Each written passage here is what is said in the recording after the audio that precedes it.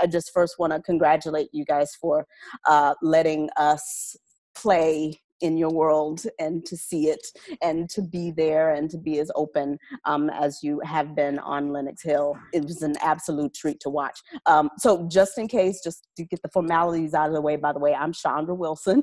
I play Dr. Miranda Bailey on Grey's. I also want to introduce my other fellow colleagues there on Grey's Anatomy. Who's over there? Who wants to go first? Kim? Hi, thank you, Chandra. I'm Kim Raver, and I play Teddy Altman. And I was saying I was just having such a fangirl moment with all of you. You know, I'm, I'm really, I mean, this is just such a gift of a series. You know, we get to play you all on TV, but to actually, um, there's a very, there's a vulnerability and uh, a unique sort of vision into your world that we sort of I feel honored to get to play. So thank you for that gift. Thank you for having me today. And I'm so excited to kind of throw back some ideas and thoughts. And I'm going to pass it over to you, Greg. Greg Germann, and I play uh, Dr. Tom Koracick on Grey's. And uh, like uh, Kim and Chandra, I'm uh, just a tremendous fan of what we were allowed to watch. Uh, it was it felt so deeply courageous and generous that uh, not just you but the patients too let us in so intimately to you know what we sort of um, act when we when we're working and um, it was a, a, lesson certainly for what we do you know on Grey's but just more broadly and deeply than that just for all of us to see you know for me really what what heroes are because uh, you guys you know show up every day and just face the most unbelievable kinds of um, obstacles and challenges. And uh, we were my wife and i binged through the whole thing and just were so deeply uh, moved unsettled and uh, appropriately kind of um, uh, we just felt so much respect for what you do. And so thank you so much. And thanks for having me. Thank you all the actors, you know, on Grey's, we I think at this point have become used to people coming up to us and talking to us as if they mm. know us and you know saying hi, and that I would imagine that that's starting to happen for you guys. So if you could like tell me what that's kind of been like being recognized. And also I'm really interested in knowing what it was like to have those cameras around all the time. If if it got to the point where mm. they just disappeared and you weren't even aware that they were there or did it affect your ability to be able to treat patients and to have, you know, private thoughts because mm. the camera was there? Honestly, the reason to do this this at the beginning when it came to us was primarily to affect young kids, hmm. primarily my own kids. And when going back to the people who recognize me, my own children, I think was the the best reaction uh, of all. You know, take everything away. I feel like they've, you know, in their own way, have just so enjoyed this and seeing this happen. Um, and they look at you guys as heroes. You know, most of the reaction we're getting are from the hospital people right now. Occasionally, people recognize us, but um, especially with the masks. It's uh, you know it's sometimes hard.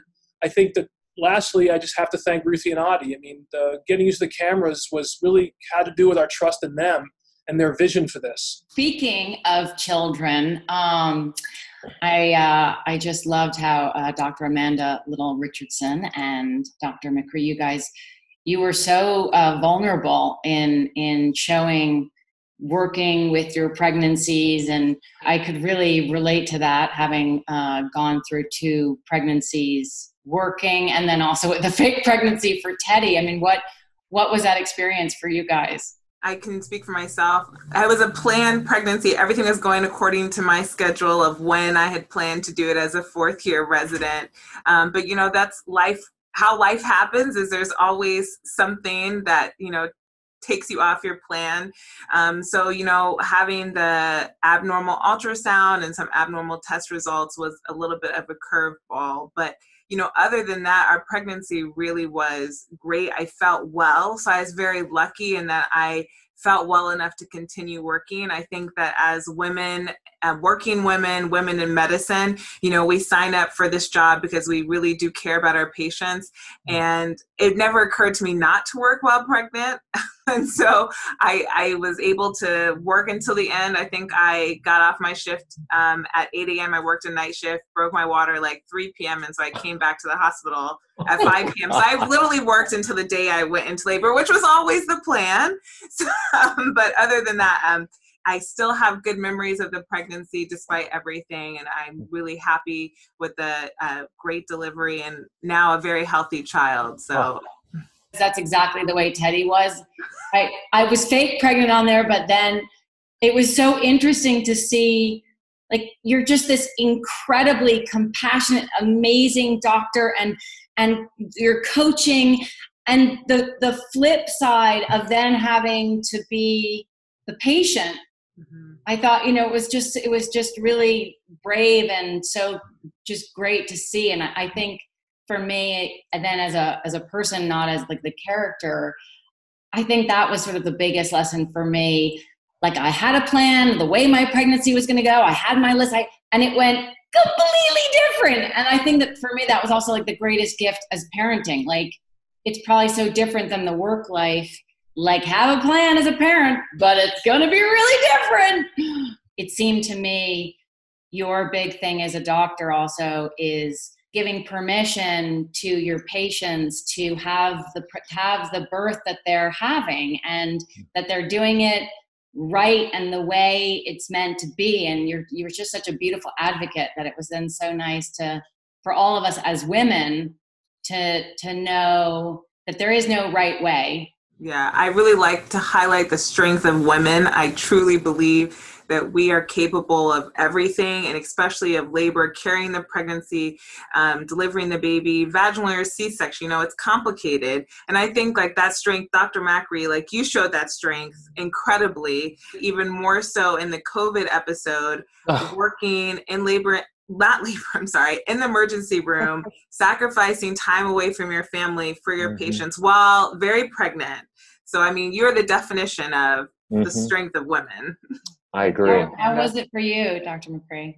uh, well, first of all, I have to say I felt like my pregnancy was smoother than Amanda's. I mean, I, I've been in attending for a few years now, so mine was very planned. I, I have a nice schedule. I don't know how Amanda did as a resident on call. Um, so I didn't have any of that. Even though I work nights, I mean, I, I am sleep deprived, but um, I was actually taken, I, I didn't realize that um, they were going to shoot my, um, my birth I guess I, I just didn't even think about it when they asked me, and I was like, "Oh yeah, I'm pregnant. Of course, of course, you're going to ask me to film the birth." But I, I wanted to, I, I, and I wanted to at that point because I had developed such a great relationship with Adi and Ruthie, and I felt a lot of trust. And yes, I agree with Amanda. I, I wanted to also show that strength that women have. I mean, we go into the field of medicine already assuming that we're going to be pregnant, we're going to have families, and we're going to still stay on top of our careers. And you know it, i was really torn on the series about leaving work um, which was tough you know because I, I wanted to be back as soon as possible. And then it happened again. I'm pregnant again so uh, just in time.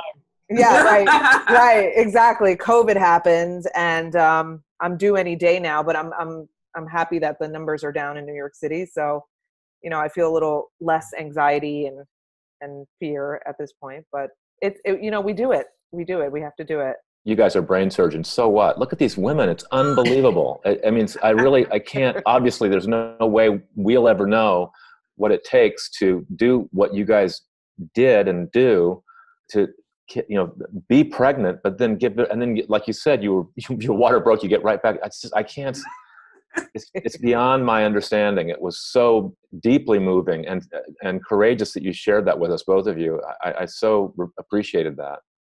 And and it really accentuates that there's no, like you said, there's no right or wrong way to mm-hmm. do anything, right? We just do life, right? We do our professions, and hopefully they will merge in a really nice way.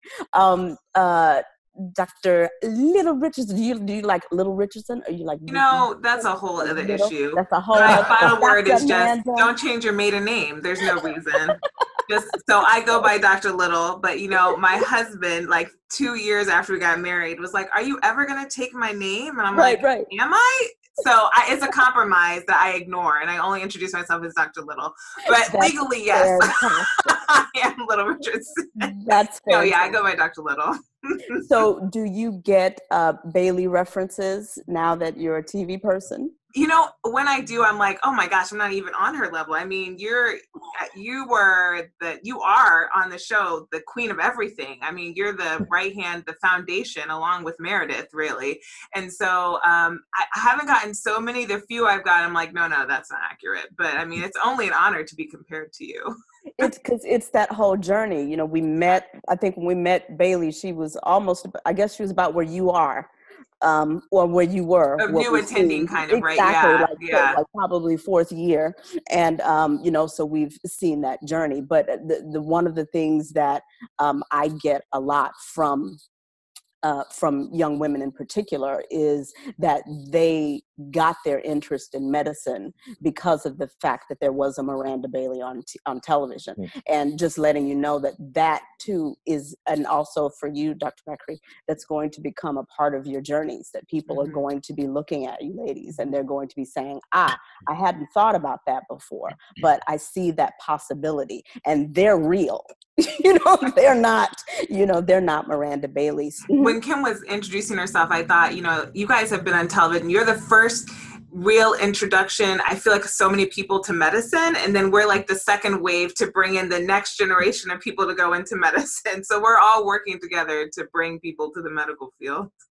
Well, Dr. Langer, Dr. Boockvar, you know, you guys do, uh, you have some special things you guys both do before surgery, which I, I thought was fascinating. And, and I know some of the characters on Grey's, you know, my character would play music and uh, uh, Caterina's character has a, a pose that she does and so on. There's different things we do.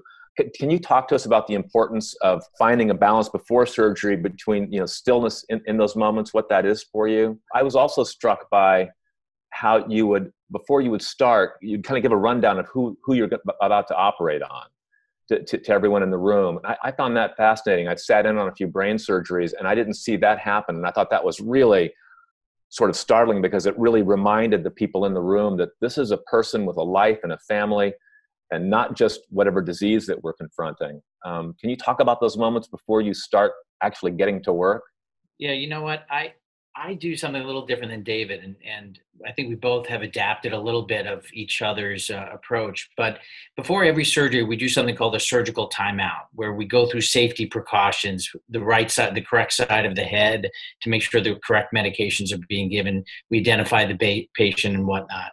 I started doing something called a mindful moment, where we all just stopped and paused after the surgical timeout and just came back to our breathing and really focused on the moment and sort of got rid of our worries and, and trials and tribulations of you know what's going on in our households and really just keep present and uh, focus on our breathing and that's the way John and I are together. We really feed off one another's energy, which I think you see that in the show. It's all real. But I, I, um, you know, respect the hell out of this. It was such a great thing to stop. And like John said, you know, we're running around a million miles an hour, and the OR is, a, is like a almost like a hermetically sealed envelope where all that sort of stuff sort of melts away. We do carry our cell phones in, unfortunately, but you know, and that's a great time just to stop and, as John pointed out, just you know, we have to go to this timeout thing. That that in unto itself is relatively new. When I was a resident, we didn't do this this checklist. That, that came from a Boston general surgeon who wrote the uh, checklist manifesto, a book, Atul Gawande. But well, John took it one step further to just not only focus on the patient, there these checklist things like a air traffic, like a pilot, but just to relax and get the team to just take a deep breath and listen, listen to their breath, which is, I think, really valuable. And I, I also use this, and John does too, of a little talk about the patient, why he's here, who's in the waiting room, what their diagnosis is. And it's, it's incredibly valuable. Um, it, it gets everybody to calm down a little bit. You can feel it once the, everybody take that deep breath, like the room feels different. The, the, the noises are a little bit more, more fresh.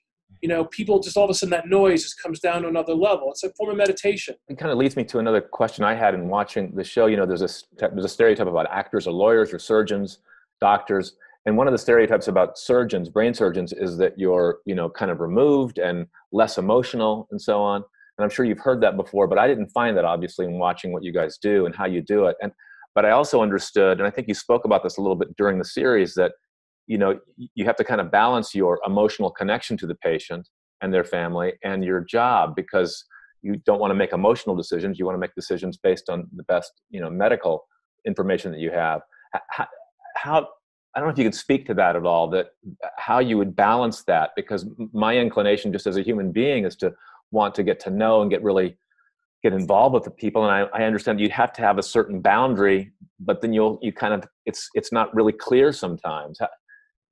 Just and how you guys, you, the two of you, different in that. Particularly glioblastoma patients are it's a chronic that it's a long, slow fade. And John does everything he can to extend that lifetime. My patients in general are more of a one-off. Mm.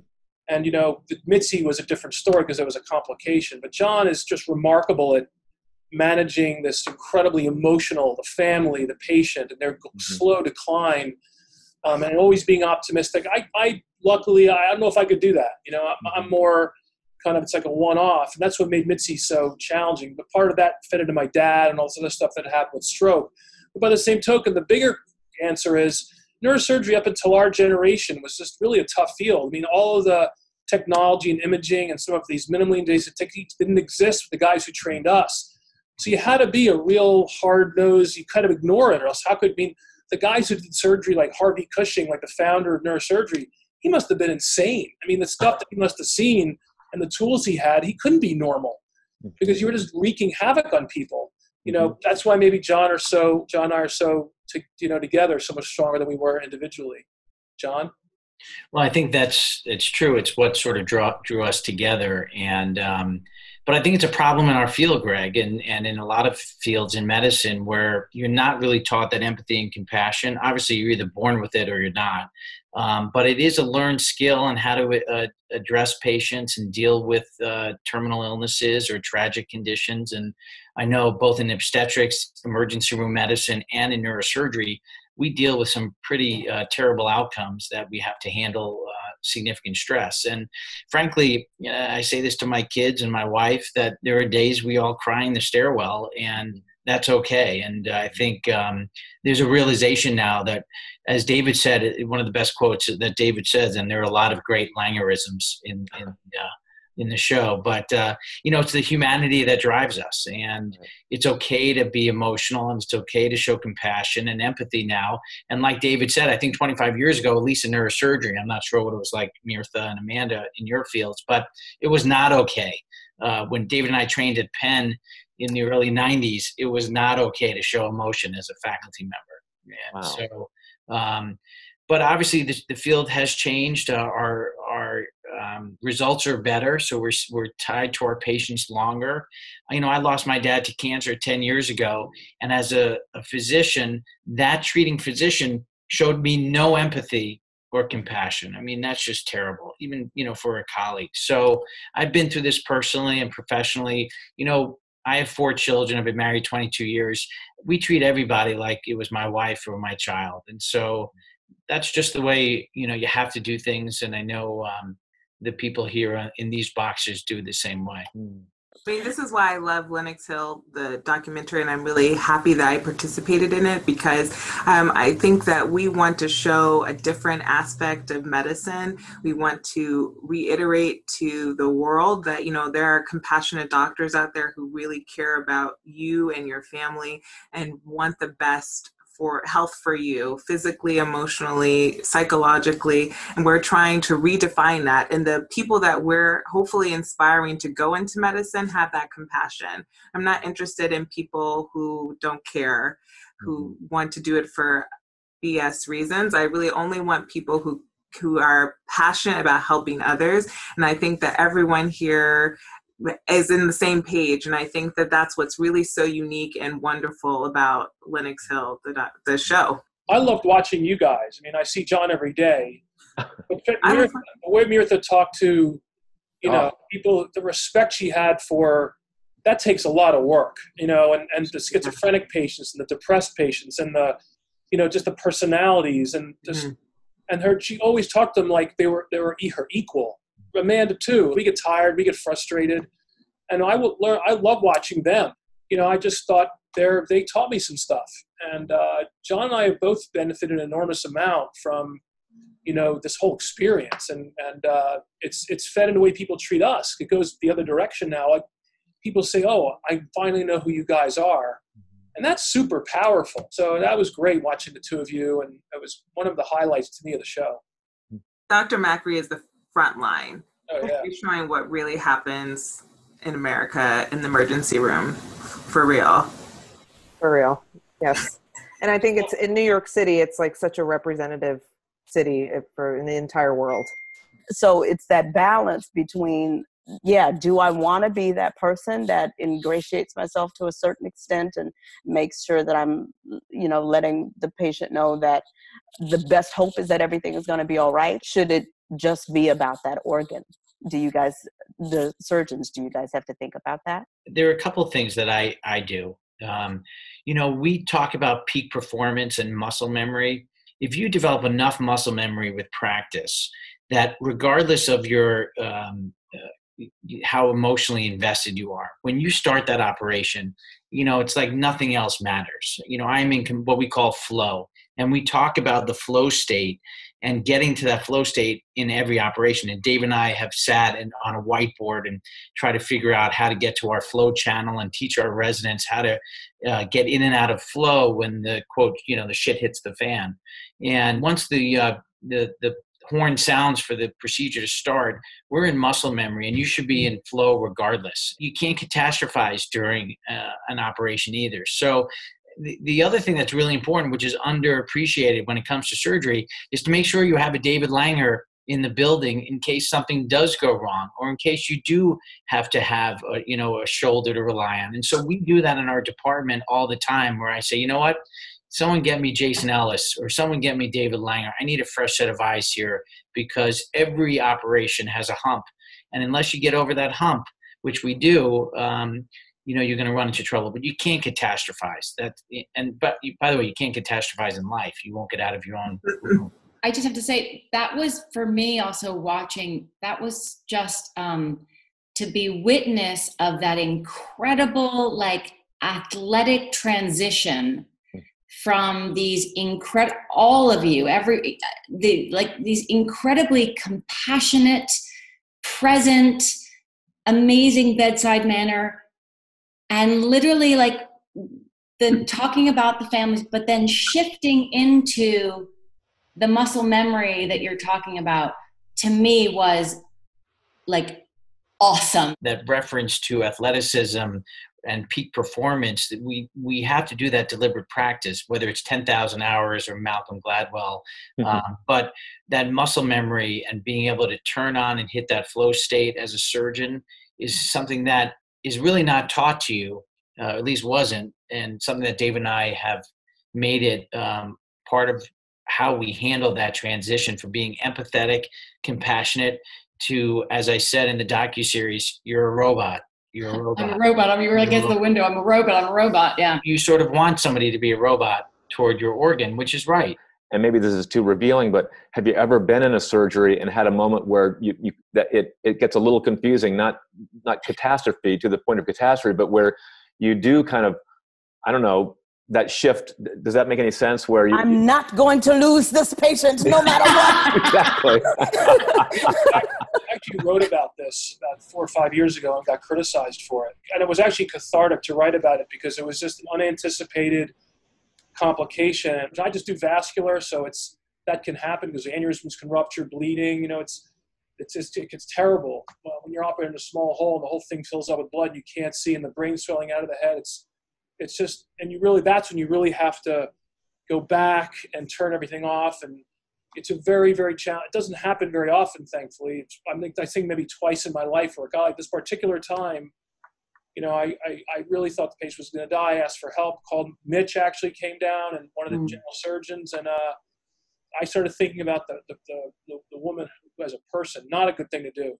And right. i because I, I thought about having to talk to the family afterwards. No one expects this to happen. And making that connection is kind of like third rail Mm. And, you know, I, I, think it was beneficial for me to, to, to just thinking about it and writing about it because I know now what not to do. And she did okay in the end, but, uh, you know, those, those things fortunately happen very infrequently.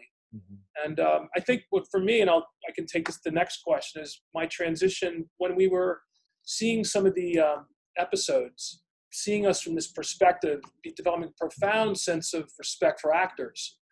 Uh, I began to realize that we were we were kind of making a fiction out of nonfiction. You guys are making a nonfiction out of fiction. I began to respect uh, your field more in some ways.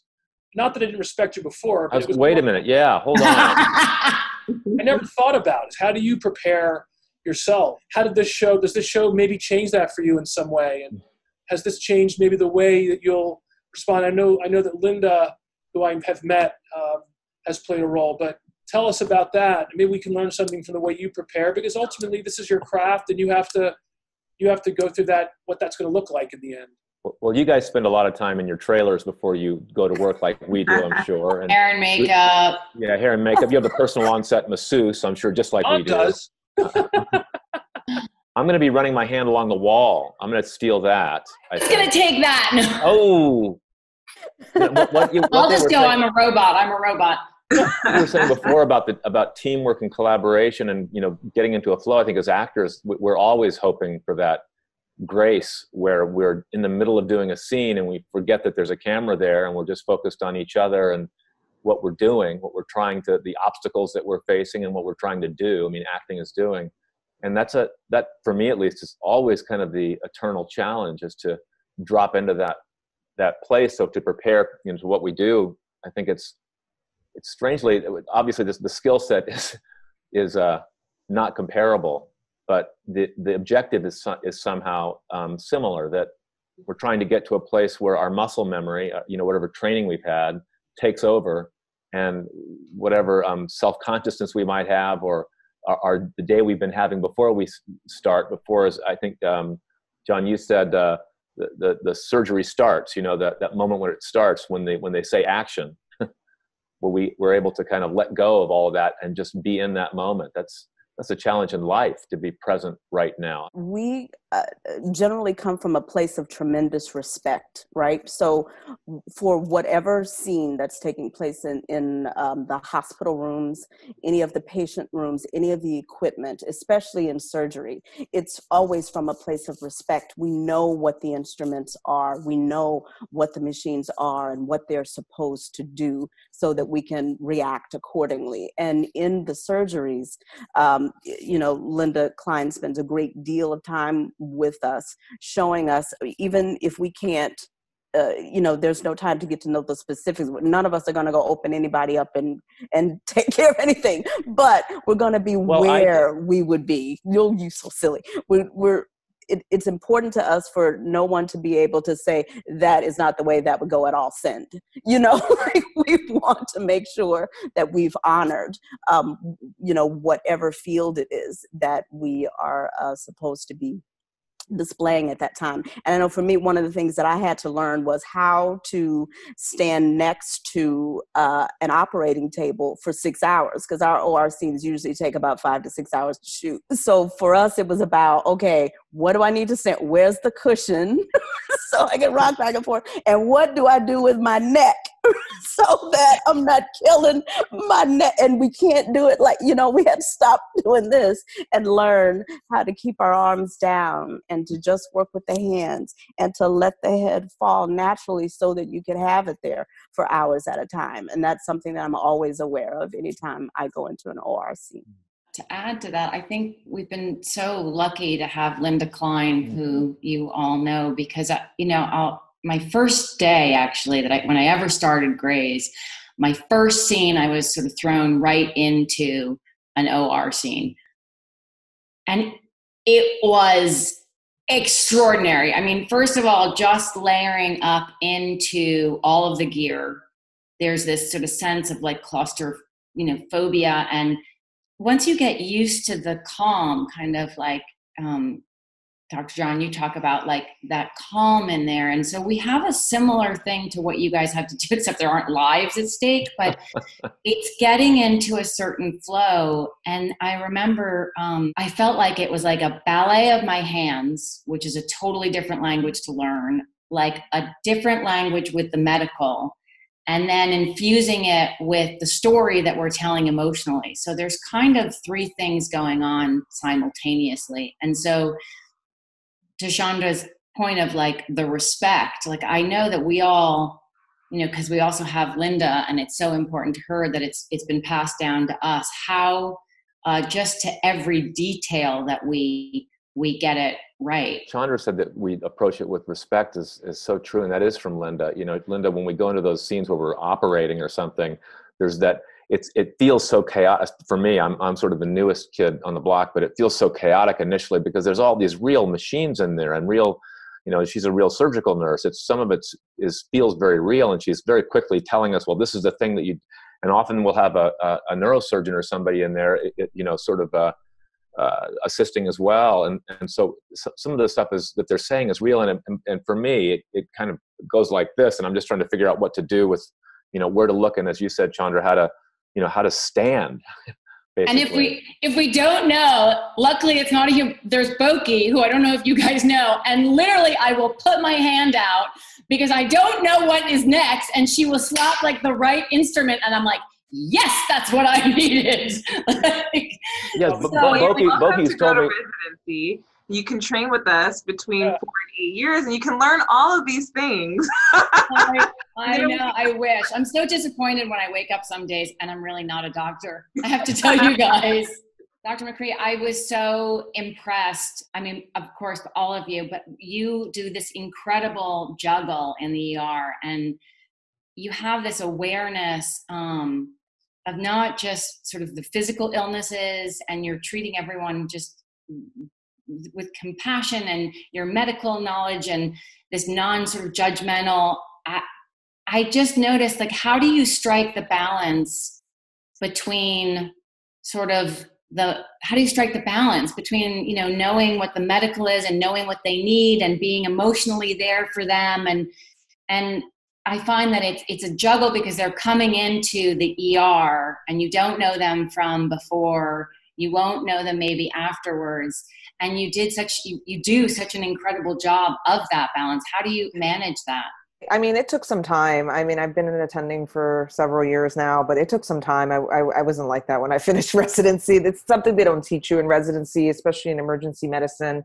You rotate. Emergency medicine is beautiful because you just you get to treat any any anybody from newborns to you know emergencies in newborns to um, elderly and terminal and everything. I mean, anything that comes in through the doors. So um, through over time, I just I just learned that, um, and especially working and training in a place like New York City, you just had to um, mold your practice into saying, you know, I'm going to put myself into this person's shoes, and and I do care about my patients. And continuing with what Amanda said, I mean, you know, you can't really do this with true happiness and fulfillment in your life and satisfaction and and be grateful if you if you aren't compassionate and have empathy with with the people that you see and treat you seem to know like what that specific person needs like i i watched you like assess them medically mm-hmm.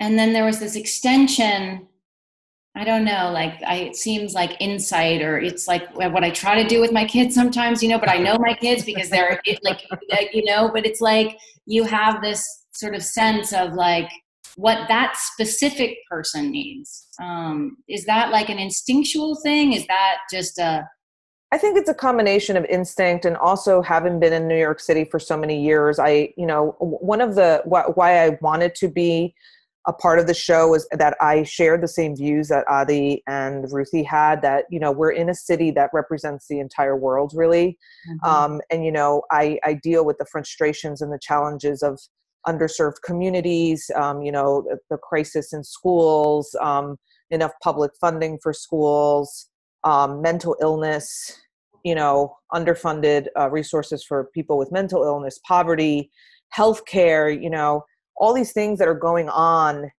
um, in the world right now and the inequality that we're seeing, it, it, all floods into the ER, and and we see these people and and they wanted to tell their stories, you know, and over time it, it took some time, you know, it took several years, but um, seeing the continuous members of our community, I, I I've gained some knowledge as to what they need and what they want. And sometimes it's not even like I mean, you know, also the show showed a very s- small piece of what we do in emergency medicine. Um, it was challenging to get the critical things that come through the door because they come in so abruptly, you know.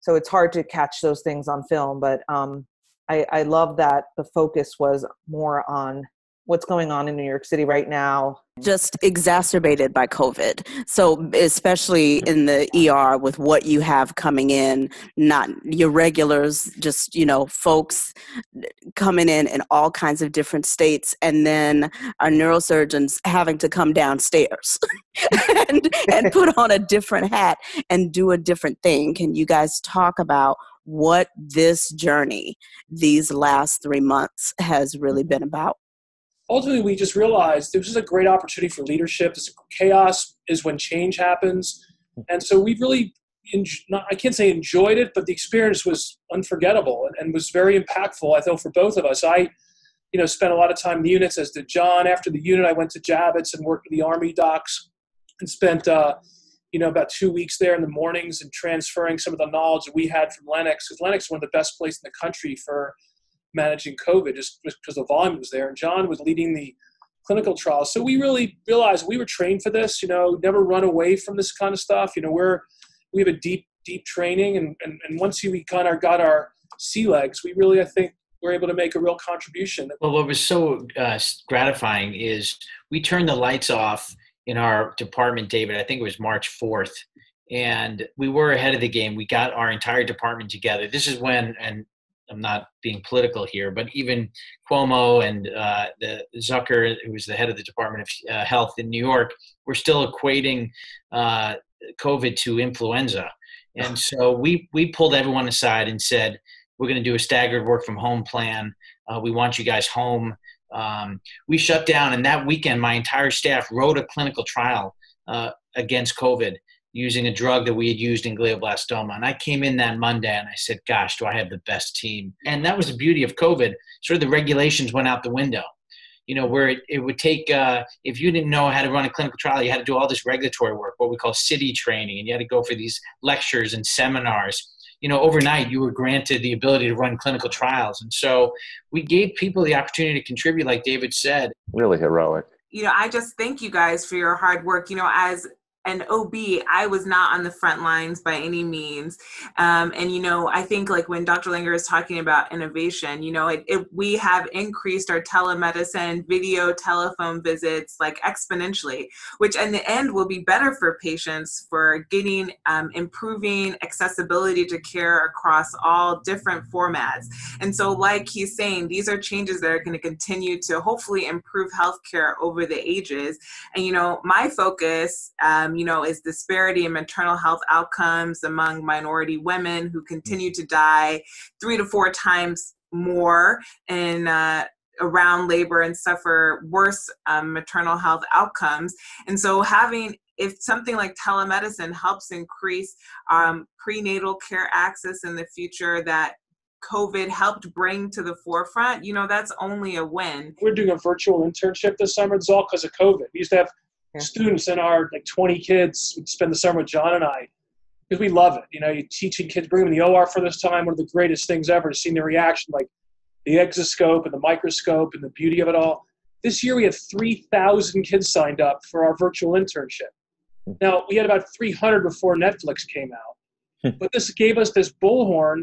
All these eyeballs are on us, and then we just blew it up, and we have like eight weeks of, of and it's just the best. And now we're having this huge impact because of COVID. You know, if, if it wasn't for COVID, all the internships would have been canceled and we never would have used Zoom.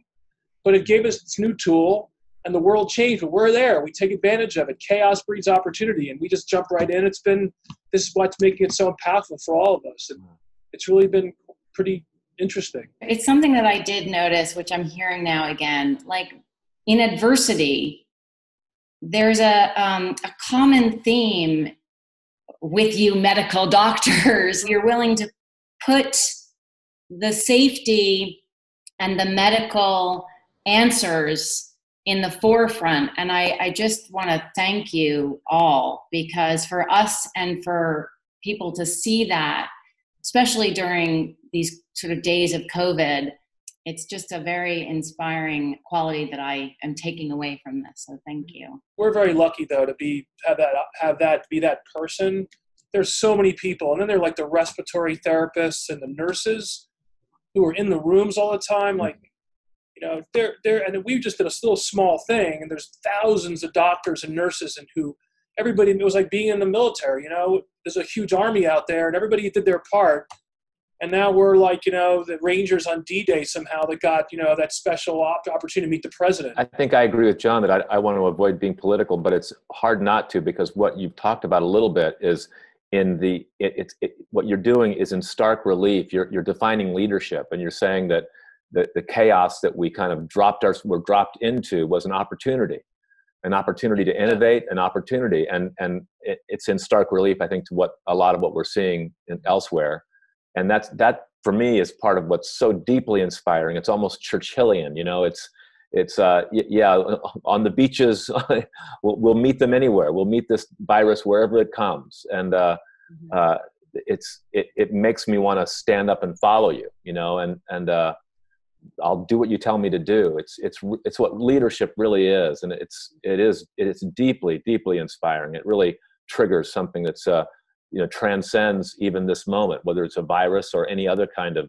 obstacle that we face. So I'm I'm also like Kim and all of us deeply uh, deeply moved by it.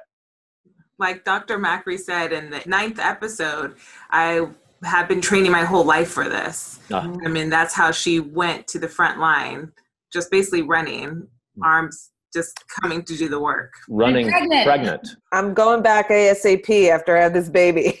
know, I, wrote, I wrote a list of things I want to mention today, and leadership is one of the words. Mm-hmm. Then this is an abandonment of leadership in some ways, and you, it was a great opportunity.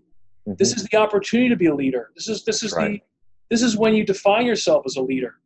It's always easy when everything's going well but it's when this had John and I both recognize that, and uh, it's an extraordinary opportunity for us. And I, I and to have the cameras there at the same time, that just doesn't happen. I mean, that's just cuckoo for cocoa puffs. So we're, we're, we're very blessed. And uh, is that a medical term? I'm, when, yeah, want to look it up. Yes, I, I use it all. Wait, I just need to, I need to look it up in my. Wait, hold a second. Oh, yeah, okay. nice. That's right in here. I'd love to know more about what, and this is sort of like what Kim was going to ask, what you all wanted to make sure that we got out of this. I know, Dr. Little, you were talking about representation, making sure that, you know, that's something that viewers walk away with, if you all can yeah. kind of speak to that a bit. Yeah, I mean, I participated because I wanted to represent kind of three things really clearly. I wanted to represent Black people, I wanted to show us in different aspects of how maybe a lot of the general community may view us. I wanted to show Black families, my personal family, um, our relationship, and how cohesive we are and loving and supportive. And then I wanted to show women in medicine and how we are strong and at the forefront and continue to, you know, we're 50% of you know medical classes now so it continues to transition. Um, and really to highlight and i talked about this a little bit earlier about the disparity that continues in maternal health outcomes for black and black women across economic socioeconomic differences. Um, because first off awareness is key but you have to identify the problem to have the solution. And so the more people that are aware of the problem uh, practitioners and general public, the more we can come up with solutions. I mean, also people can advocate for themselves in the clinics, in the uh, delivery space um, for their rights. Um, and so that was my number one goal in participating. I think hopefully that's being achieved. I think one of the most important things, and David and I have talked about this, it was an opportunity for us to, you know, redefine or uh, remind people of what role models can be besides Instagram influencers and uh, YouTube, uh, you know, channel uh, people. So you can be a role model uh, by just helping other human beings mm. and to show that in a humanistic way back in the field of medicine, which really um, was a really important thing that we wanted to show to our, our young people. And I can tell you, and I know David, because we get a lot of the same emails, that um, we have doctors from all over the world emailing us saying, Thank you. After 40 years in practice, you've actually helped me look at things through a different lens that I haven't been able to see in my own practice. And and it's really amazing to to get those kind of emails from people that have been practicing medicine for 40 years. And we get a ton of the students who say, you know we weren't we're not being taught this we're not being shown this level of, of, of how to address a terminally ill patient or how do you address somebody uh, with depression in the emergency room. So for us just being a role model and giving people the opportunity to see everybody whether it's a nurse or a doctor or pa um, was really an opportunity of a lifetime. I was going to say you know the one people ask you were you afraid? Like weren't you afraid of seeing and uh, we weren't afraid at all. Because we're totally legit and and because we know what we can do that it bad bad stuff happens. I mean it just does. But that's the problem that if you try to make it all beautiful all the time and if it's just perfect then it's not real. Let it in. Let it out. And we can be influential. We can be leaders. We can we can be that we have this, this saying now educate inspire unite. And it's related that if people see people doing good it can't help but make the world better and that's that's really where we were. My, my wife and i went in watching it we were trying to figure out because I, have seen a few other medical documentaries and, and things but and i don't know what it is about this one that for me at least was it, it hit me so much harder and more deeply and was much so much more moving and inspiring than others that i've seen and I, I haven't really been able to articulate yet why but some of what you're saying is true and i'm just thinking about Mirtha, when you were in the emergency room the last that final episode, and I think they were taping up a, a they're sort of putting some plastic over one of the rooms to so that you could use it, and it was so kind of happenstance. But you were still just plowing right through pregnant. It was as a leader. I mean, sort of what you said before, uh, David, about leadership. All of you in your own way. It, it, you just exemplified and, and didn't not because of what you were saying you were just doing it you were being leaders and maybe it is too because of the moment, but just the cra- I think we all crave that. We we, we crave uh, being able to look up to someone, to people, uh, profession or people that uh, that are leaders, that are that we want to just jump up and walk behind. And all of you did that so beautifully, and I'm sure it's because of the you and the filmmakers were willing to um, share that with us. Yeah, I just wanted to add to to everything that everybody's saying that doctors can advocate advocate for change. We can advocate for the things we're passionate about. We, you know, we don't just go to medical school to learn the textbooks and and learn to be, um, you know, leaders in our field. There's uh, so many other things we can use with our medical degrees. Um, you know, and that's one one of the things that I love about emergency medicine is that we see so many disparities. Um, and I wanted that to be seen. I wanted people to be able to tell their stories because at least my patients they don't have the opportunity ever to tell their stories mm-hmm. um, they are a very forgotten um, population unfortunately and this was like amazing for me if i could thank each and every one of them i would um, you know it's it's it takes a lot of courage to do that to show that aspect of your life um, because a lot of them i i was surprised by how many of them were okay with you know mm-hmm. telling us their story as unfortunate as some of them were so I, I think it's great um, to be able to practice medicine at this time in my life. I'm incredibly grateful that I can advocate for change. I can be a leader in my field. And like Dr. Langer said, yeah, there's fear and there I mean, I think there's fear, but we there's no fear because this is this is what we train for.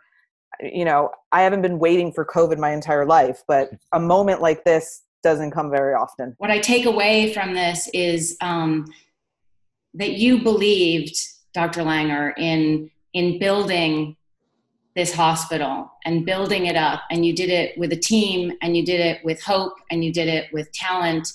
With your hope and your belief, you you kind of spread the word, and it's so incredible to hear what you, each one of you have the sort of specific uh, ways in which you want voices to be heard. And I think, especially in America today, we need inclusivity. We need more people to be heard. And through this series, I feel like that is happening. And through Dr. Langer, your uh, vision and visionary.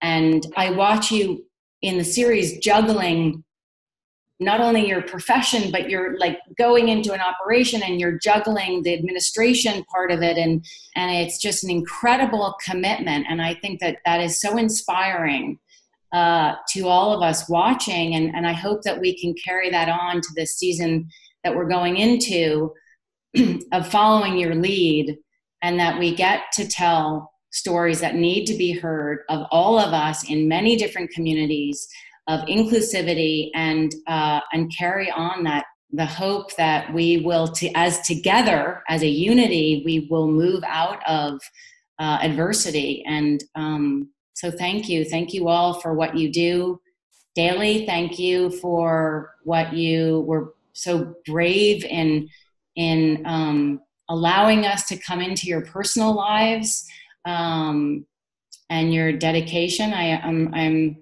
I feel so lucky that I get to play Teddy Altman and that you guys are are doing it and every day and you you um you give me hope for my kids that we are moving into a better place. So thank you. I'm really hoping what everybody gets is that this is a celebration. That's really what I felt like at the end, celebrating each of your contributions to medicine. We're in a, a place now where we are celebrating our healthcare workers and set and and really understanding what this sacrifice is but mm, i hate to use the word sacrifice because it's not like it's not what you want to do. You said this is exactly why you're here in order to be able to do what you're doing. So i want to chime in on all of those thank yous that are coming from all over the world for you guys' contribution to the health and well-being of humanity. And i, I know one of the things that i've been saying a lot lately is um, whether it's COVID, whether it's George Floyd, we all are really in touch with humanity. Um, it's something about having to sit down and be still for a minute as the world is figuring itself out that brings that out. And to be able to share that in your profession that there is humanity there as frustrating as it may be for patients to come in to feel like nobody's listening and i have pain and you're not addressing my pain. It's like it is being addressed. There are human beings. I just want to express my appreciation to all of you guys for uh, giving the world an opportunity to come um, into your world for a minute and um, and make us feel and make us care and and um, just really to help us understand that at all times really you are doing your best you're doing your absolute best and watching the whole series and seeing the four of you I've never seen all four of you so still, and it terrifies me that New York City is falling apart if you guys aren't running around like answering the phone, getting into surgery, the emergency room, and delivering a baby. So we've taken way too much of your time. Lenox Hill is now streaming on Netflix.